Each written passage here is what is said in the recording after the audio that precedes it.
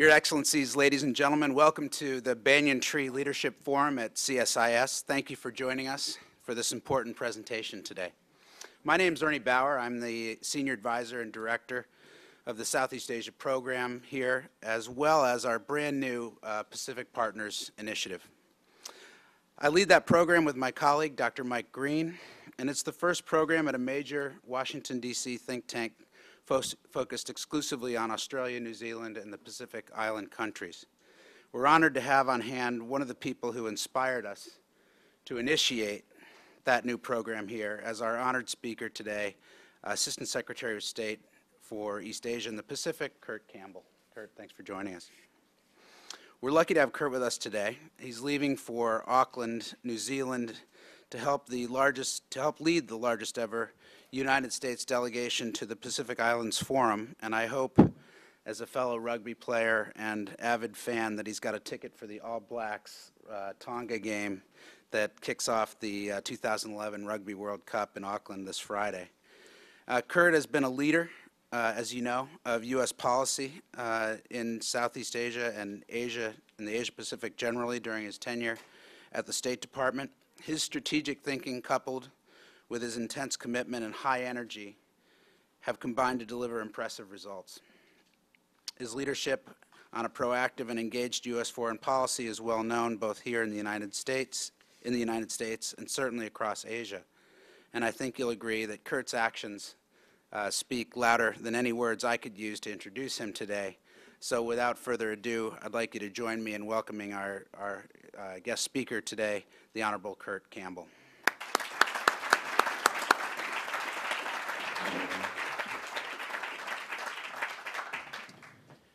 Uh, thank you very much, Ernie, and it's great to see so many friends in the audience and very grateful to be back at CSIS. I want to say how pleased we are that this program is underway. Um, the work that Ernie, that John Hamre, uh, that uh, Mike Green and others have done to advance not only uh, our thinking and understanding of the developments in Asia, but particularly the work on Southeast Asia and now on the Pacific and Australia and New Zealand, I think helps uh, complement uh, the concept of a totality in terms of our comprehensive approach to the Asian Pacific region in which countries like India, uh, uh, even in Latin America, are playing a larger role in this dynamic region.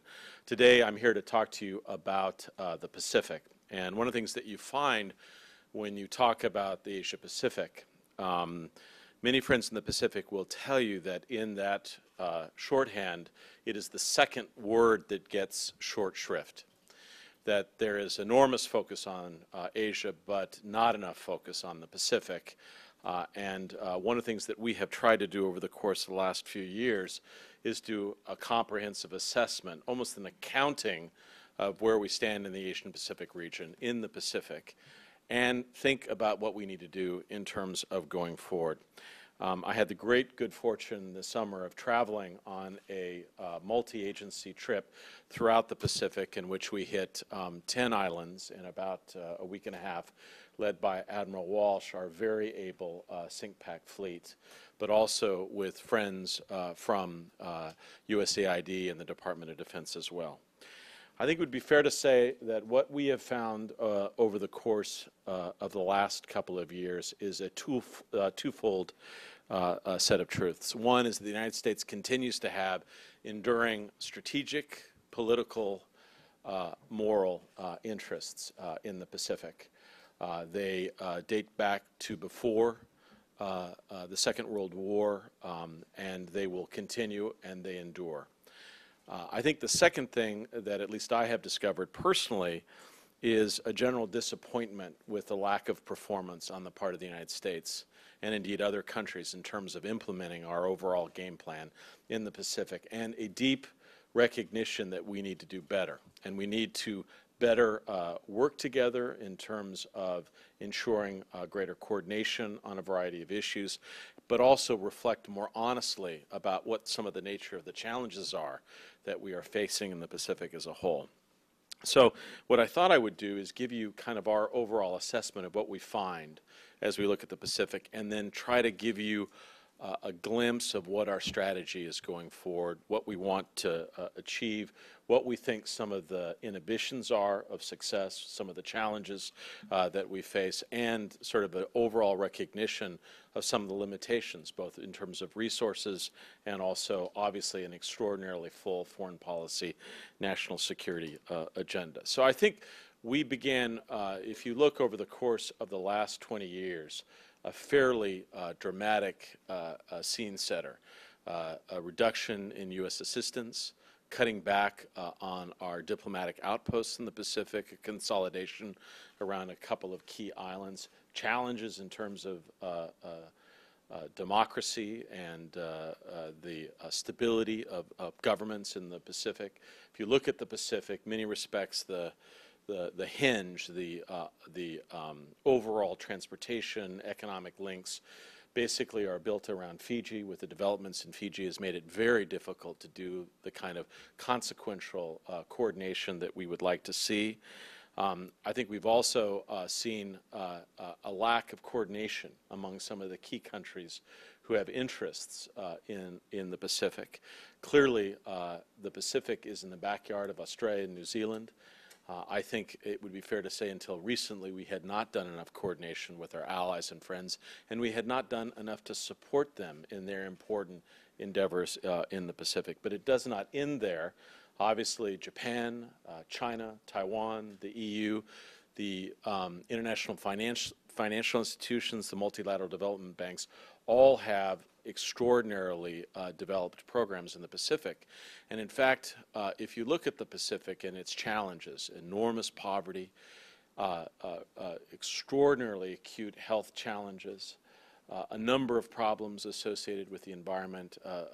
if, you, if you think about climate change, the Pacific really is the canary in the coal mine. Uh, if you travel to the Pacific, particularly low-lying uh, atolls, it is immediately uh, recognizable, uh, some of the effects uh, on their lives and livelihoods.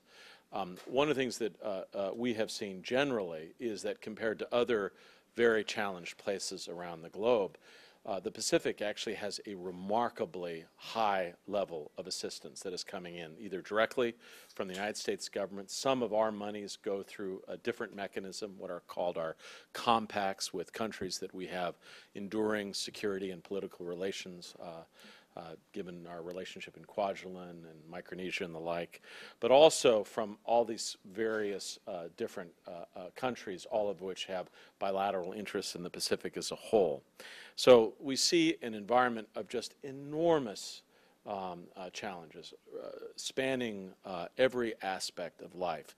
Energy costs are higher in the Pacific than almost any place on the planet. At the same time, uh, remarkably little uh, systematic use of recyclable uh, uh and other uh, energy technologies. Health problems which are acute, which have led many islanders to leave their homes to seek treatment elsewhere. a set of challenges associated with brain drain uh, that are uh, immediately recognizable from any country uh, in Africa or um, throughout the third world. Um, and so as we, as we scan that environment, one of the things that was also clear on this most recent trip is, is that if you go to any of the Capitol buildings, more um, uh, uh, recent uh, uh, structures, you will see black and white pictures of earlier periods of uh, American and other engagement, in which we had remarkably more resources to bring to bear.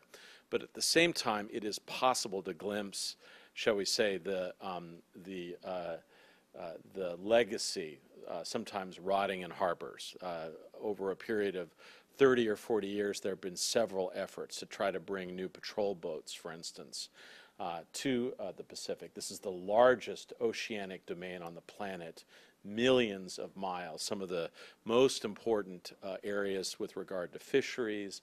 Uh, some of these uh, fisheries are still uh, uh, relatively pristine. They are in, they're at risk. They're at risk of being overfished due to large trawlers coming in illegally into, um, into coastal waters.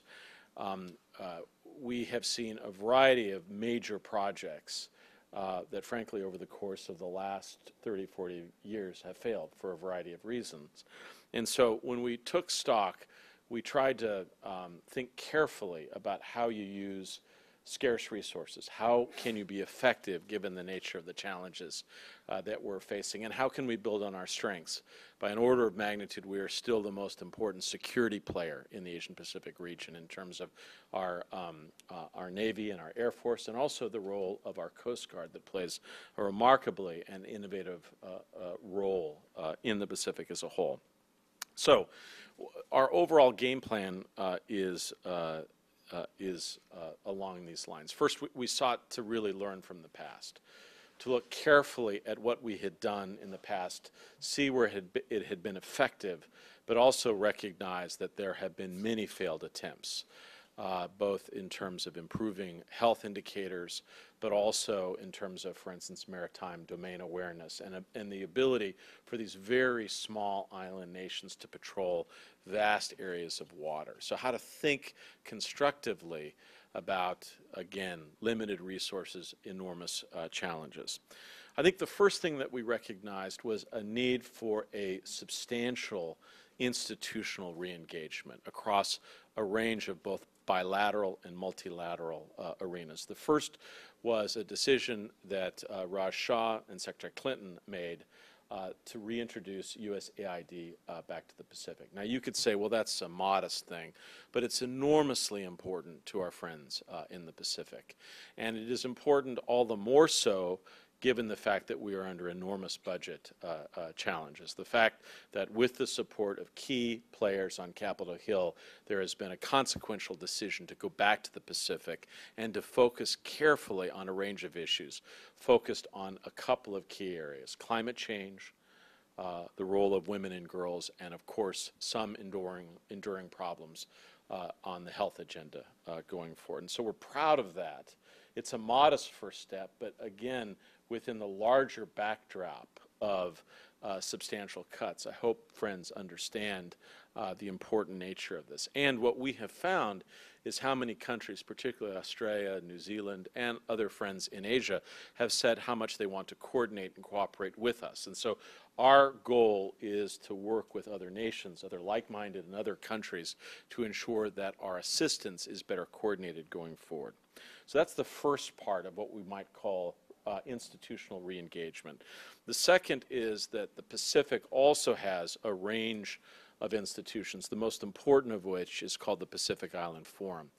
Uh, one of the things I did not mention, mention, at the outset is that what's also immediately uh, uh, uh available to anyone who spends time the, in the Pacific is the enormous differences across these islands, different cultures, languages, different approaches. And so they resist and frankly somewhat resent the sense that they are um, thought of as just being all alike as Pacific Island nations. And so we've sought, as we engage in institutions like the Pacific Island Forum, to work not only as part of a larger group, but also have important bilateral inter interactions, particularly with the key island nations. Um, uh, as Ernie was gracious enough to uh, indicate, actually, as I leave uh, this afternoon, I'll be going as part of uh, Deputy Secretary Nides' largest delegation ever on the part of the United States to the Pacific Island Forum. We'll send about 40 people there from almost every important agency, the State Department, the Coast Guard, the Department of Defense, U.S. Forces, uh, USAID, uh, uh, Interior Department, uh, virtually every, the White House, virtually every agency inside the U.S. government that has a role in how to think about the Pacific will be sending se senior representatives. And we will all be uh, under uh, uh, Deputy Secretary Nides' leadership. And I look forward to helping represent the United States as part of this very substantial delegation. I just want to underscore here what, what the contrast is. Um, six years ago, during the Pacific Island Forum, we had two people there all right? And so this is really a determination to suggest that we want to bring more resources to bear, but more importantly, we want to coordinate um, inside our government. The other issue that we found as we went through the Pacific is that we dis discovered programs and other initiatives that we had no idea were underway, right? And so when we talk about the Pacific as a whole, we think one of the most important things that could be done is a greater uh, degree of what we might call donor uh, or assistance coordination. When we think about that, our first way of thinking about it is along the lines of making sure that countries like China and Taiwan and Japan and France and the EU and Australia, New Zealand, and the United States are coordinated uh, more effectively together. That is absolutely essential. And one of the things that Kevin Rudd did in Karn uh, Cairns, I always pronounce that incorrectly, I apologize, uh, three years ago was to put in place an initiative which is designed to improve our overall coordination. But that's not enough. We actually need to be able to be more effectively coordinated within our own government to actually understand what these disparate programs do and what they're responsible for. The fact of the matter is, unlike many places around the world, the Interior Department is responsible for much of what we do in the Pacific, not the Department of State. And so what we've sought to do over the course of the last couple of years is improve our coordination and understanding of what each of our institutions do uh, in the Pacific as a whole. And so we think that there is enormous potential at, this is not one of those places where there is a substantial gap in resources. In fact, if you look at the collective whole, it is extraordinarily substantial. The challenge is a better degree of coordination, and that coordination has been remarkably difficult, uh, ironically, not only within our government, but with other um, uh, uh, governments as a whole. But we've seen some progress uh, in recent um, uh, in the recent period. We've also been struck, frankly, as you travel through the Pacific. There are uh, new uh, uh, indicators of changes in the sort of geopolitical context. In almost every capital, there are large new buildings, many of the, uh, and stadiums, many of them built either by China or Taiwan over the course of the last several years. More recently, almost all uh, uh, by China. What's striking is that they not only indicate China's interest in the Pacific, which we support, and we recognize that this is a natural uh, thing, and in fact, we welcome a closer dialogue with uh, China on the Pacific, and we want to work with Chinese friends in this regard. But we have to think carefully about how we use, again, scarce resources. In one or two of the island nations that we went to, we saw magnificent buildings that literally local governments are unable to cool uh, uh, in the summer uh, period or heat when necessary because the the electricity costs, energy costs are so high. So what we're seeking is a more comprehensive dialogue with uh, the key uh, donor nations about um, uh, basically designing approaches that are more relevant and sustainable to given some of the challenges that we're facing in the Pacific as a whole. Um, uh, when we are in uh, uh, when we are in uh, Auckland, we will have detailed discussions with virtually every country, including uh, China. We'll have discussions with our friends in Taiwan, with India, with Japan, with virtually every uh, country who have strategic interest in the Pacific as a whole.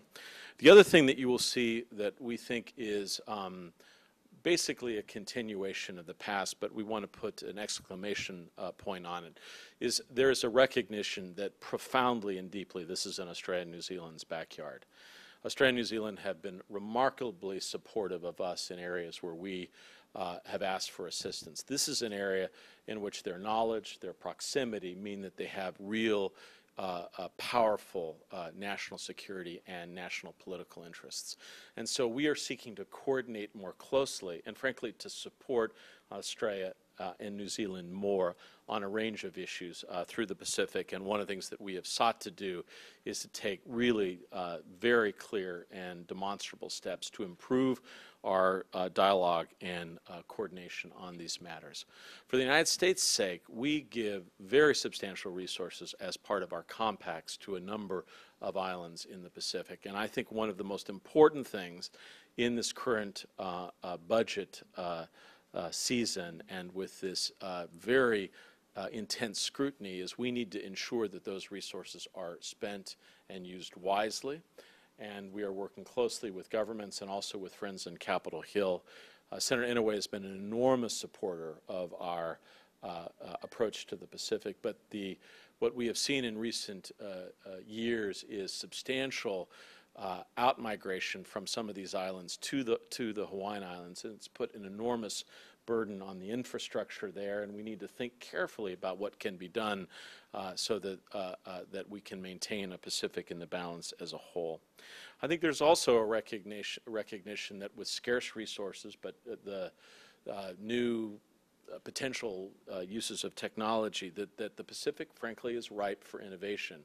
One of the most innovative things that we've seen that was implemented by the Coast Guard and come up with by a very junior person is this idea of what is called the shiprider agreement, which is if a, a national, uh, law enforcement national from a particular island nation is riding on an American ship, either Coast Guard or Navy, then if we uh, uh, come across uh, uh, an illegal fisher, uh, fisherman, then, then that we will be able to work under a legal framework to take appropriate steps to uh, put in place, uh, uh, you know, legal consequences, fines, and the like. That has enabled us to work much more closely with the range of the island nations to improve our ability to patrol these vast areas of space.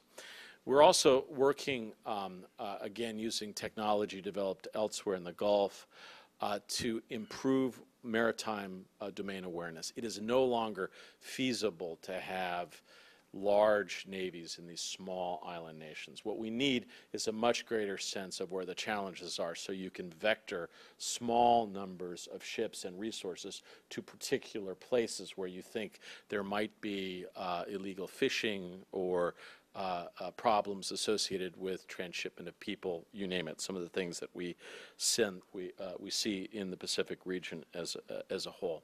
We also want to look very carefully at what I would call targeted initiatives. We've made clear uh, to Chinese friends that we want to highlight areas where the United States and China are seen to be working closely together. We recognize that when we talk about building trust, you have to build it piece by piece together. And so that requires the United States and China to identify clear areas, whether it's energy efficiency or mangrove planting, where our two countries can be seen uh, uh, to work together uh, for a greater good in terms of the well-being of the lives of the people of the Pacific as a whole. Um, we want to take consequential steps over the course of the next few months uh, uh, to uh, demonstrate our desire to secure the Tuna Treaty. The Tuna Treaty has been one of the most important treaties that helps regulate really what is the last healthy uh, pod of tuna in the world, and it is at some risk now. We want to communicate very, very clearly uh, to the signatories the strong American commitment uh, to see that remain uh, uh, in force, and I want it to be clear, and we'll make it clear when we're uh, in Auckland of our strong determination to take necessary steps, and we want a reciprocal approach from some of the key countries who are involved in this overall effort. There are a number of places as you, you fly through the Pacific, um, and I'll just give you this contrast if you, if you wouldn't mind. Um, all of you, or many of you, have been to Europe and have gone to these wonderfully pristine World War II battlefields, these, the, you know, manicured lawns. Remember the opening scene of of Saving Private Ryan, just, just you know, in which everything is perfect, uh, you know, wonderful marble columns depicting how various columns and pincer movements played out. You fly through the Pacific, and what you are struck with is as if uh, unbelievable carnage and killing. And then when it was done, people got on planes and boats and left. You can find uh, rusted tanks in almost every place where uh, wars were fought during the Second World War unexploded ordnance, enormously uh, chilling reminders of war. When we were on, uh, uh, when we were visiting Tarawa Beach, again, one of the greatest scenes of heroism in our history. Uh, to see it, you know, covered in, in garbage and not tended to in the way, uh, frankly, we should, it, it was heartbreaking. But at the same time, when we asked our friends, do you ever find unexploded ordnance? I think that was mis mistaken by our, our, our, host, can you find us some unexploded ordnance? And within about five minutes, they brought shells, and we're like, just, just put them down, we'll move away.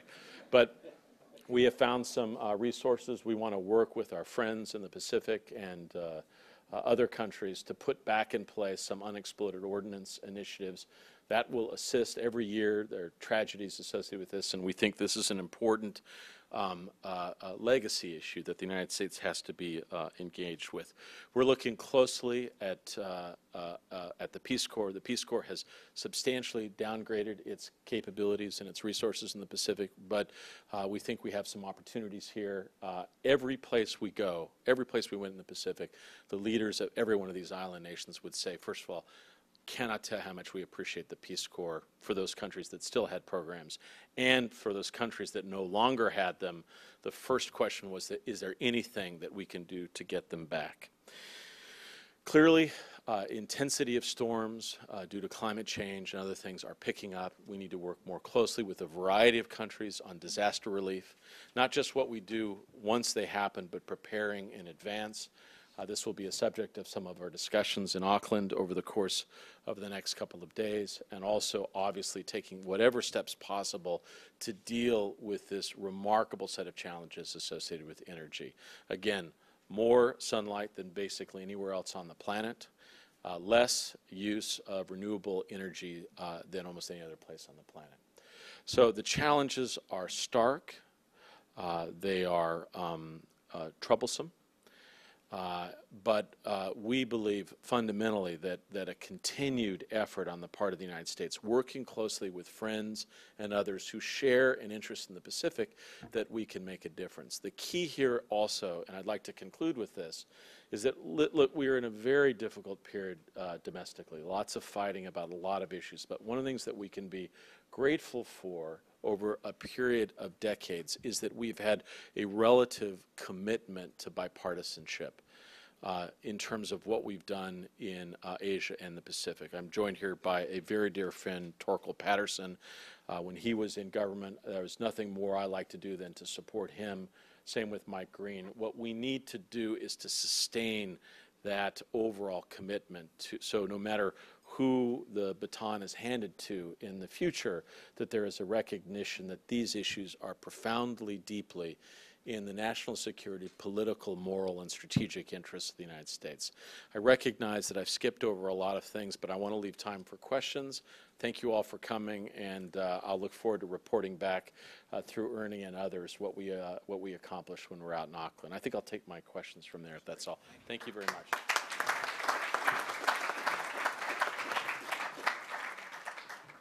Thank you very much, Kurt. Uh, Thank you very much, Kurt. Really appreciate that tour of uh, U.S. strategy in the Pacific. Um, Appreciate your taking some questions.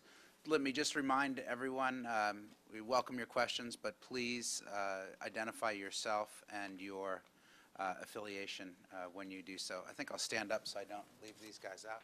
First question right here, to the gentleman. Thank you. Uh, Jay Liu from China News Service. Speaking of China, China has launched a white paper on its uh, peaceful development plan, saying that it will never seek hegemony but will firmly safeguard its national core interests. So, any comments on the white paper and the views on it? I didn't understand completely the question. Uh, China has, you know, issued a white paper on its uh, peaceful development plan, saying that it will never seek hegemony, but will firmly safeguard its national core interests. So I wonder whether you have any comments. Uh, haven't had a chance yet. I look forward to reading the white paper actually on the long flights over. I will say, generally speaking, that I think that uh, our administration, previous administrations have made very clear that it is in the strategic interest of both of our countries to maintain strong, healthy relations. We want to see uh, a China uh, that plays a um, uh, strong, positive role in global politics. I think uh, we welcome uh, deeper engagement on a range of issues, political, security, uh, economic as a whole. I think it is also the case that particularly uh, with respect to uh, security issues, we seek to step up the dialogue between our two sides. And also, we believe that a degree of transparency is a healthy thing in terms of reassuring and communicating clearly uh, uh, uh, intentions and aspirations. But overall, I think we're pleased with the progress in U.S.-China relations, and uh, we welcome the publication of this document. Let me go over here to Stanley Roth.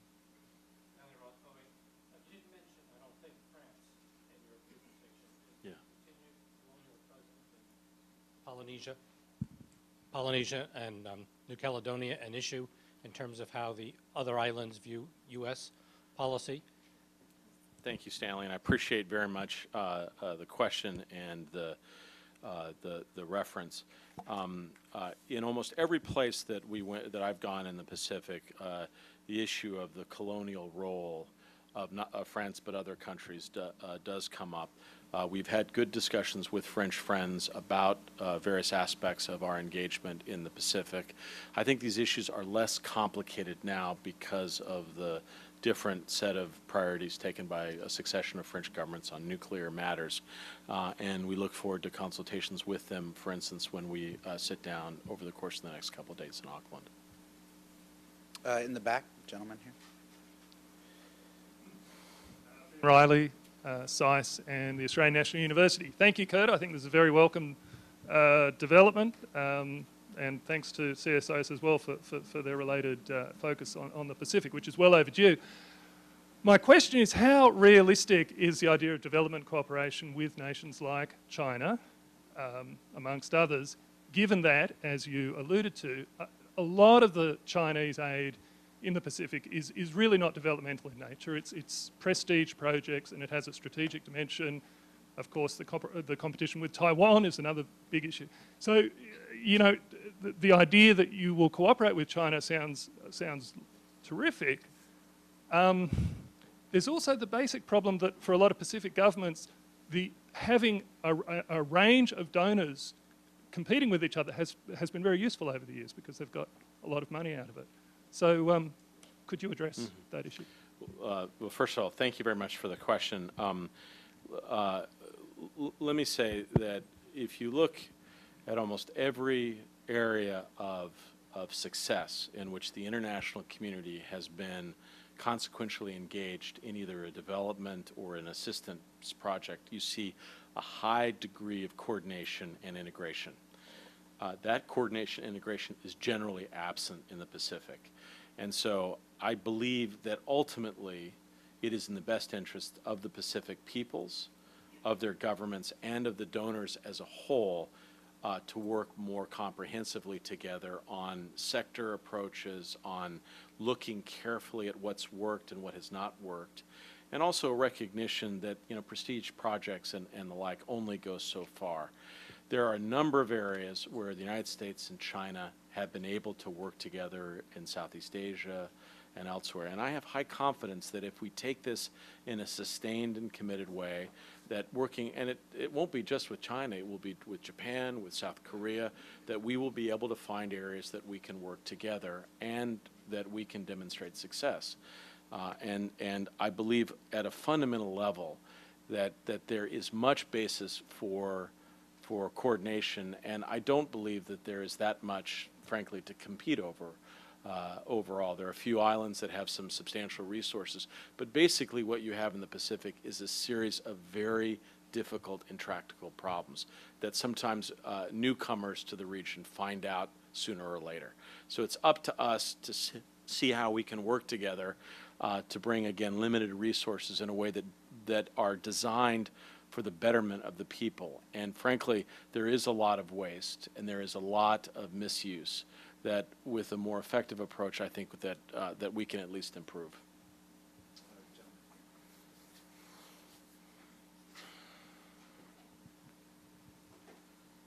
Thank you. John Zhang with CTI TV of Taiwan. Mr. Secretary, I have an issue you may find very hard to work with China. Could you uh, uh, update us on the uh, deliberation or decision on F-16 sales to Taiwan? The clock is, is clicking and uh, the deadline, October 1st deadline set by Secretary Clinton is fast approaching. Thank you. Thank you for your, your question. I think as you uh, well know, and you probably can repeat my uh, line directly back to me, the United States has a national interest in maintaining peace and stability across the Taiwan Strait. We take those interests uh, uh, very seriously. Uh, we are committed uh, uh, to uh, Taiwan's defense, and we uh, support uh, uh, the Taiwan Relations Act. Um, and we frankly have been very pleased by the positive developments that we've seen over the course of the last few years across the Taiwan Strait. We'd like that to continue. On specifics, I'm afraid I can't uh, provide anything further, but thanks for the question.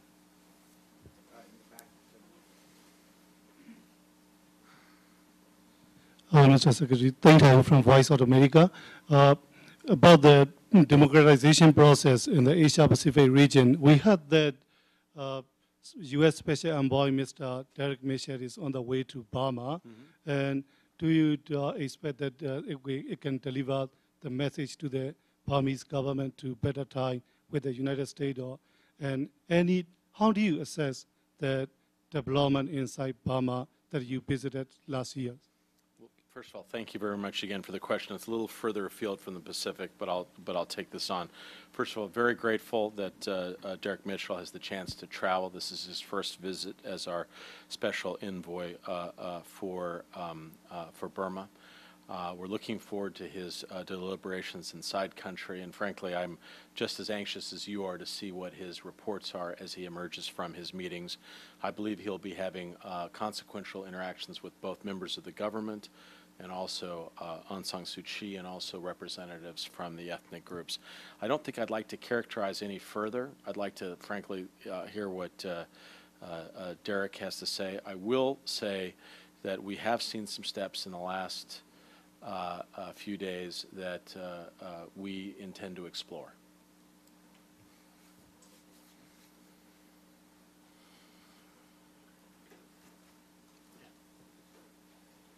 Thank you. uh, Thank you, Secretary. Um, Tiger Jung from the Stimson Center. I have two short questions. Uh, First one is the, uh, what do you see the strategic relationship between the systematic uh, re-engagement with the Pacific and the U.S. re-engagement with Southeast Asia in terms of the U.S. general policy towards uh, Asia? And the second question is, given the uh, budget cut and bipolar uh, fight in the Congress, what kind of hurdles or struggles do you expect in their support for future programs, Yeah. especially USAID? Thank you. Thank you very much. Excellent questions. I, I, I would say um, one of the things that I am finding as I, as I, you know, consult and talk with friends on Capitol Hill and also allies is I think there is a welcome recognition that our future and frankly, much of the history of the 21st century is going to be written in the Asian Pacific region. And the United States has an incredibly important role to play in that. And I think one of the great challenges of American foreign policy and national security is how we carefully and responsibly rebalance. Tom Donilon, our national security advisor, has talked about rebalancing. Uh, we have enduring security interests, political interests in Europe, and particularly the Middle East. But clearly, um, we will need a, deeper, more sustained engagement, not just bilaterally, uh, not just with uh, new uh, friends like Indonesia uh, and India, a strong dialogue with China, but one of the things that we have not talked about, which is really a commitment to institutions in Asia and Pacific. That's the reason that we talked about the Pacific Island Forum in November, and I expect Ernie and CSIS will have a session about this later. The United States, as you know, uh, will be uh, uh, joining the East Asia Summit for the first time. We will be holding another of our series of U.S. ASEAN summits. This is, will be our third in the last uh, few years. There are a number of consequential steps that we want to take within these multilateral frameworks with the recognition that if Asia is to play uh, its role, uh, it needs stronger institutions with deeper roots. And the United States wants to support that a- a- and uh, uh, see what's possible over the course of the next few years, with the recognition that this process will take a substantial period of time. But just to conclude where you began, I, I believe that there will be a strong bipartisan commitment uh, to a stronger U.S. presence in the Asian uh, Pacific uh, uh, region, and I am um, quite um, I, I believe in that, and I'm intent on, on seeing that come to pass. Two more. Two.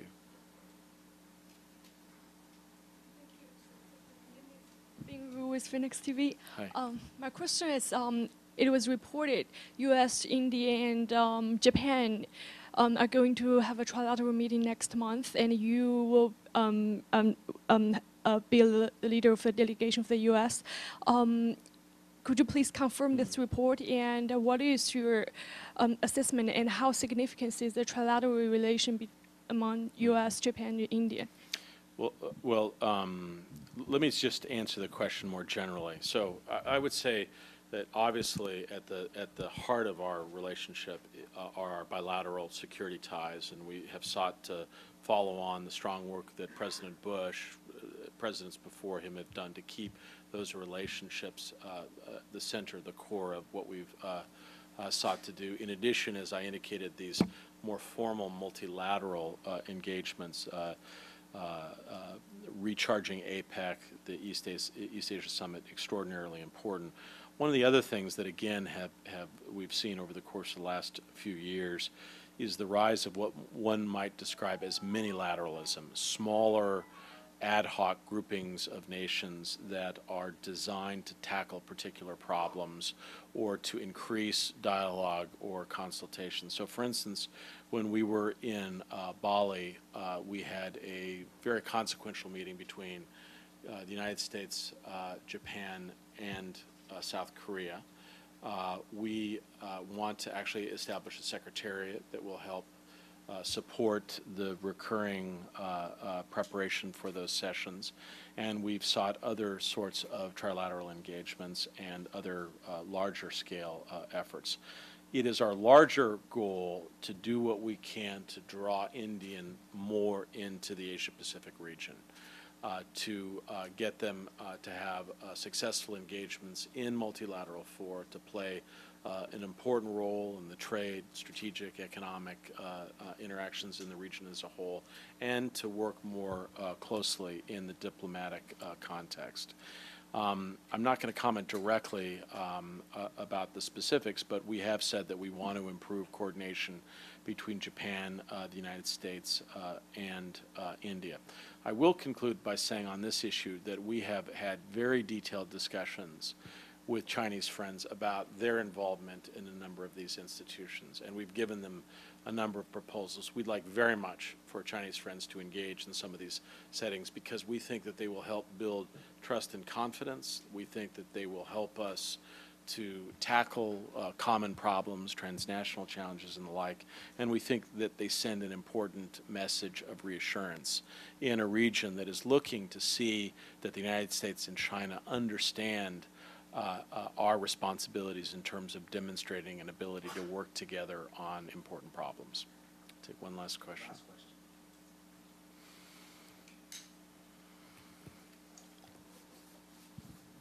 Thank you, Secretary. I'm Jeannie Nguyen with Voice of Vietnamese Americans. Hi. Would you comment about the current posture of China in the South China Sea? How would that affect your initiative in the Pacific? Thank you.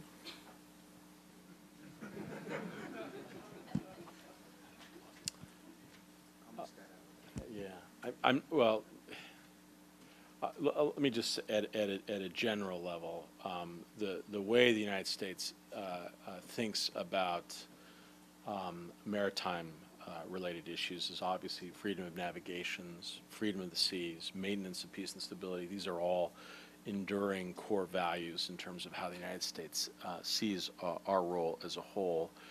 I think we were pleased at the first step that was taken in advance of the ASEAN Regional Forum in terms of the understanding that was reached between ASEAN uh, and uh, uh, China. I think Secretary Clinton said it's a first step, but only a first step. We'd like to see some consequential diplomacy that will follow on from that, hopefully improve trust and confidence in the South China Sea. There's a recognition that these issues must be handled carefully, and uh, that by some measures, you know, a third of global commerce passes through the South China Sea. This is already uh, an issue of deep international concern, and we want uh, all issues to be handled uh, uh, with a cool head and a strong strategic sense. Okay? Thank you very much, Kurt. Before I close, let me remind you, and I guess this backs, uh, backs up Kurt's assertion, that on Friday, September 9th, uh, we'll be hosting the U.S. Armed Services Ranking Member Adam Smith of Washington State, Congressman Adam Smith, for a policy address entitled America's Commitment to Asia and he's going to be talking about how Congress views the role of our armed services uh, in the region and, and that shifting of, of balance that, that you talked about, Kurt. So I hope you'll, you'll all join us on, uh, on Friday at Can 9 we thank Ernie also for the great work that he and CSIS has done, if we could?